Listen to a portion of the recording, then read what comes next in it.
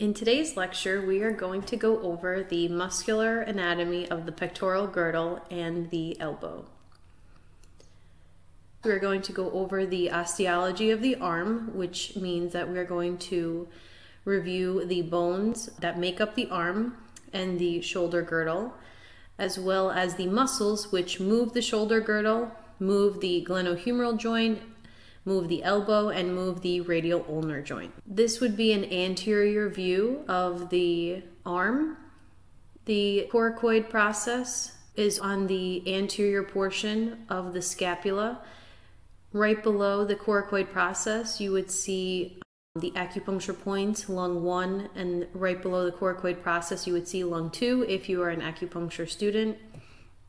The acromion process is the flat portion of the shoulder. The humerus sits inside the glenoid fossa of the scapula, and that is considered your glenohumeral joint. So glenoid fossa articulates with the humerus, making up your glenohumeral joint. The elbow is composed of the distal humerus and the proximal ulna and radius. So this is the distal aspect of your humerus. This area is considered your arm, whereas this area would be considered your forearm. So your forearm is made up of the ulna and the radius. The humerus is considered your arm, or it can also be called your brachium. We'll see a couple of muscles that are actually going to be called brachialis, coracobrachialis, and that's indicating that it is going to be attaching somewhere on the humerus.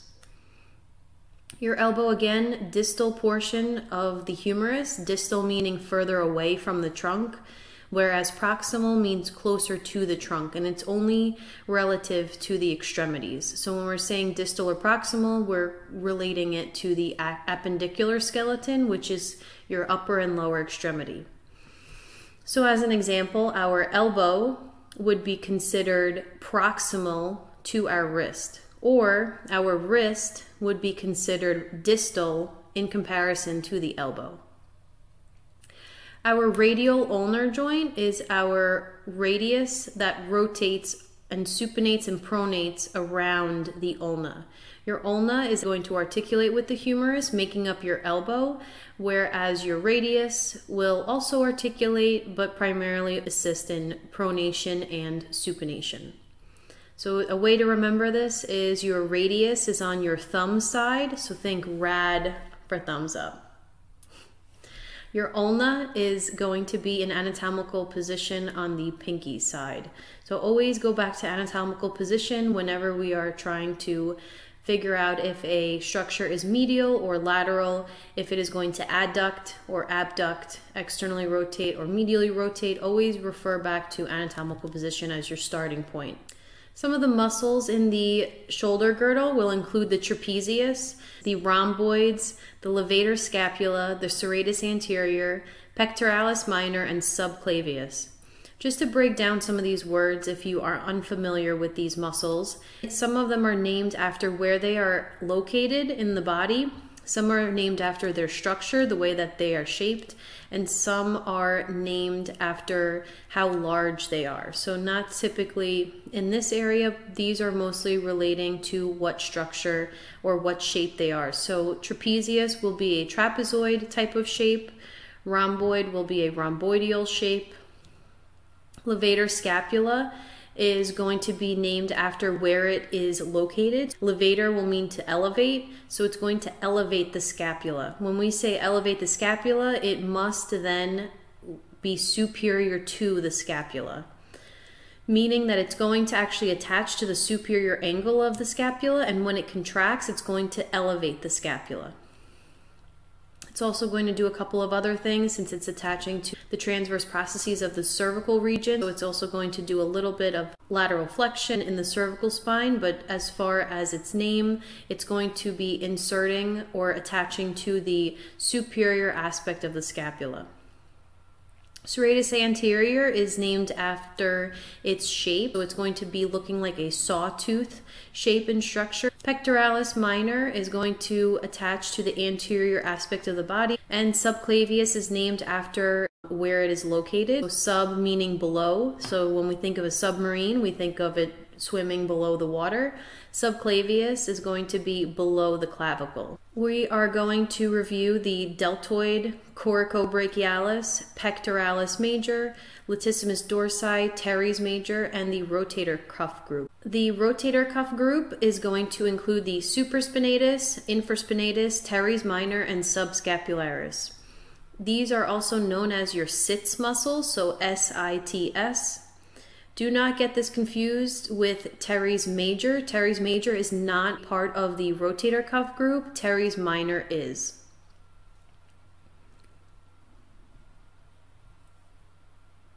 We are going to review the deltoid and the coracobrachialis.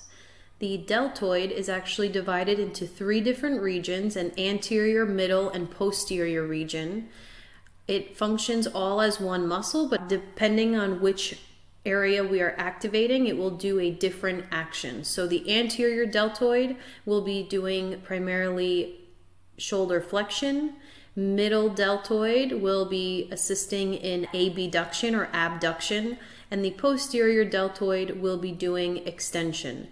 It attaches to the lateral clavicle, the acromion process, and the spine of the scapula to the deltoid tuberosity of the humerus. Again, if you are an acupuncture student, there are a couple of points along the anterior acromion, posterior acromion, and around the deltoid that you will need to memorize. Um, that is not for this lecture, but it is something that you should keep in mind when palpating this muscle. On the left is the anterior view. We have the lateral portion of the clavicle, the acromion process, and the spine of the scapula.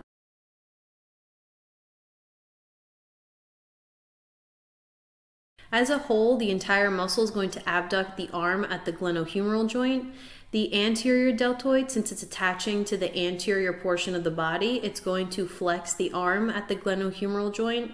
It will also medially rotate the arm at the glenohumeral joint and horizontally flex the arm at the glenohumeral joint. The posterior deltoid is going to be attaching to the posterior aspect of the body and it will extend the arm at the glenohumeral joint, laterally rotate the arm at the glenohumeral joint, and horizontally extend the arm at the glenohumeral joint. An easy way to remember this is that any muscle that is attaching to the anterior portion of the body superior to your pelvis will most likely be doing flexion. Any muscle that is superior to your pelvis on the posterior aspect will be doing extension. So if we give an example of the rectus abdominis, it is going to flex the trunk versus your erector spinae are attaching to the posterior aspect of the body, it will extend the trunk. Once we go below the knee, it starts to become a little bit different. Your quads will extend your knee and they are attaching on the anterior portion of the body and your hamstrings will flex the knee, but anything above the pelvis in general most likely will be doing flexion. So that's one way of memorizing these muscles. If you know where it attaches, you will most likely know the action. Again, go back to anatomical position.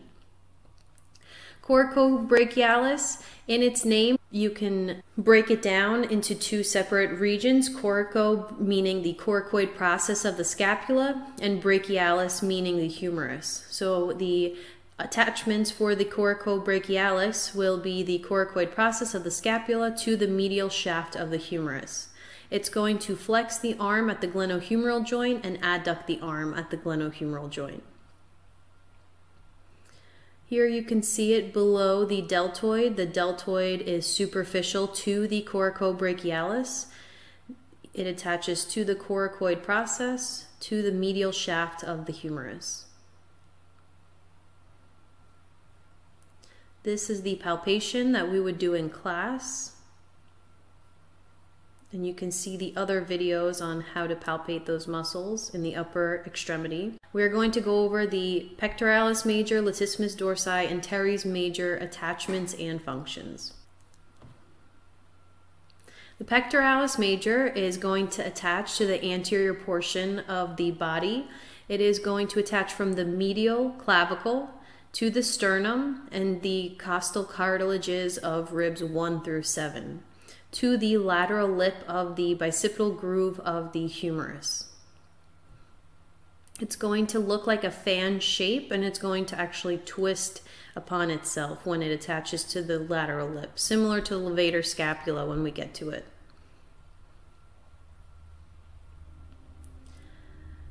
The pectoralis major, the actions you can think of when someone does push ups, they are going to adduct the arms at the glenohumeral joint, medially rotate the arm at the glenohumeral joint, flex their arm at the glenohumeral joint, that's specifically referring to the clavicular head attachment, horizontally flex the arm at the glenohumeral joint, and extend the arm at the glenohumeral joint, which would be the sternocostal head. Pectoralis major is a very important muscle in something that is called upper cross syndrome, which is a postural issue that people may have depending on if you sit at a computer all day, if you are texting all day, looking down, we can develop this upper cross syndrome, meaning that we are going to round our shoulders and this is going to contribute our pectoralis major to be tight, as well as other muscles. So, if you are a body worker, if you are an acupuncturist or a massage therapist, you will want to open up this area. This muscle is going to be very important to open up, relax, and also start to strengthen the rhomboids. So when we hunch our shoulders forward, our rhomboids in the back, which we haven't gone over yet, are going to become overstretched. So a great exercise to have the patient do called wall angels, where you stand up against the wall, keeping your elbows and back up against the wall and try to open up your chest. There are a couple of other exercises you could do. You can do a door stretch where you bend your elbow and abduct the pectoralis muscle. So you would be doing the reverse action of what this muscle is actually intended to do. So you would try to stretch out this muscle.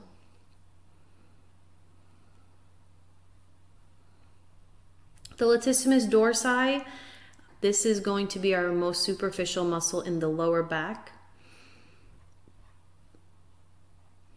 Latissimus dorsi, also known as the lat, it attaches to the spinous processes of T7 through L5, the posterior sacrum, and the posterior iliac crest, to the medial lip of the bicipital groove of the humerus.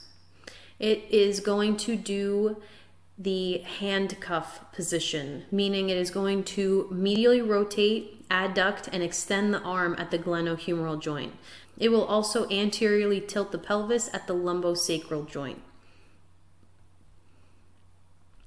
The trapezius is the most superficial muscle in the upper back. Latissimus dorsi, again, is the most superficial muscle in the lower back. On the left are the superficial muscles. On the right are the deeper muscles. So the levator scapula is going to be deep to the trapezius as well as the rhomboids and the rotator cuff group is also going to be deep to the trapezius and the deltoid. Here you can see a little window that is formed by the trapezius and the deltoid and the latissimus dorsi. So this window, you would then see these muscles.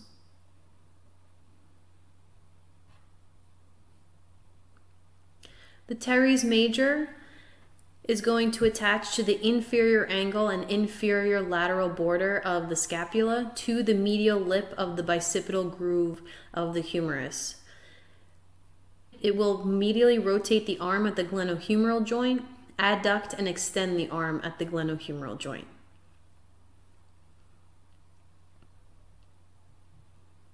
Here is the teres major. Again, not one of the rotator cuff muscles. Here are the spaces that are made up of the teres minor, long head of the triceps, teres major, and the humerus. So we have the triceps hiatus, which will have the profundus brachii artery and radial nerve coming out of this space. The quadrangular space, which will include the posterior circumflex humeral artery and axillary nerve. And out of the triangular space, we will have the circumflex scapular artery.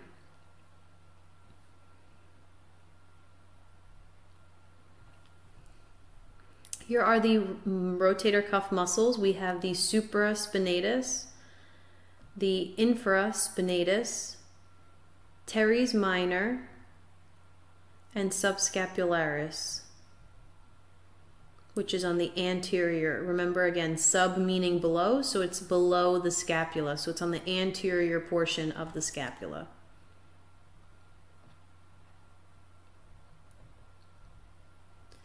The subscapularis will attach to the lesser tubercle, whereas the supraspinatus, infraspinatus, and teres minor will attach to the greater tubercle. If you were to look at this, and this is the patient's right shoulder, if you were to put your left hand on their shoulder to palpate these structures anatomically, you would put down your ring finger, middle finger, and index finger, which would then give you the supraspinatus attachment under your ring finger, the infraspinatus attachment under your middle finger, and the teres minor attachment on your index finger. The subscapularis will be a little bit more difficult to palpate since it attaches to the lesser tubercle and you are going to have to externally rotate their arm to palpate or feel the lesser tubercle pop out.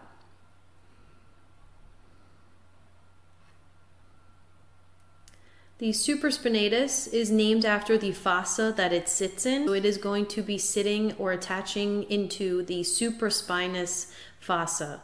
Again, remember that the spine of the scapula is here. So anytime we see supra, we think of superior to. So this is saying that this fossa is superior to the spine of the scapula. And it will attach to the greater tubercle of the humerus. Supraspinatus is the most common muscle that is injured amongst the rotator cuff muscles. And this is important to know since once you get into orthopedic testing, such as the empty can test or supraspinatus test, to test the strength of the supraspinatus. It is going to abduct or abduct the arm at the glenohumeral joint and flex the arm at the glenohumeral joint.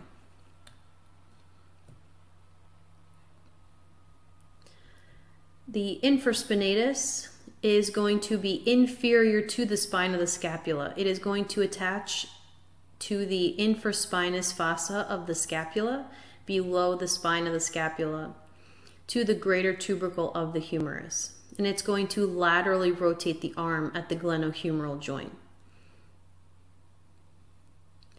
The teres minor is also going to be a lateral rotator. It's going to attach to the superior lateral border of the scapula to the greater tubercle of the humerus. These you can think of when someone is winding up their hand, like a pitcher at a baseball game is winding up their hand to throw a ball. That's what the teres minor and infraspinatus are doing in that motion.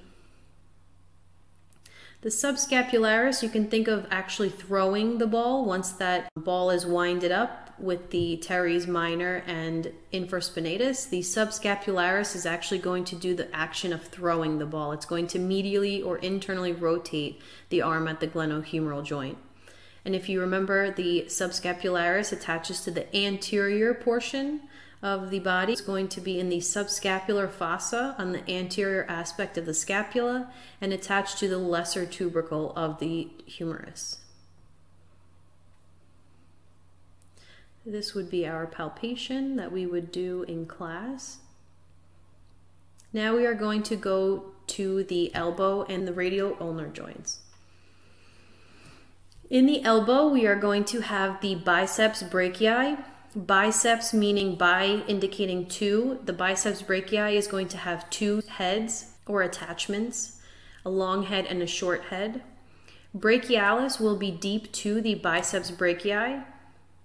Brachioradialis is going to attach from the humerus to the radius, so brachioradialis. Triceps brachii will have three heads. Anconeus you can think of as the little brother or sister to the triceps brachii. It's going to be doing extension at the elbow and it's going to be on the posterior aspect of the elbow. The radial ulnar joints are going to include pronator teres, pronator quadratus, and supinator. Pronation means to put the palm down or posteriorly rotate the palm. Again, referring anatomical position, your palm should be facing forward in anatomical position. Another way of remembering it is the supinator. So think of you are holding a bowl of soup. So to hold a bowl of soup, this would be pronation. Supination would be this. So pronation, supination.